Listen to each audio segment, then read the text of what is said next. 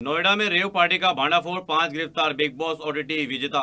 Eilish Yadav का नाम FIR ने पुलिस ने बताया है कि नोएडा में छापेमारी के दौरान पाँच कोबरा समेत नौ सांप और सांप का जहर बरामद किया गया है। नोएडा में गुरुवार देर रात पुलिस ने एक रेव पार्टी का भांडाफोड़ किया है, जो पाँच लोगों को गिरफ़्तार कर लिया गया है। बिग बॉस ओटीटी विजेता एलविश यादव, जो एक वीडियो में एक सांप को पकड़े हुए और उसके साथ खेलते हुए दिखाई दे रहे हैं।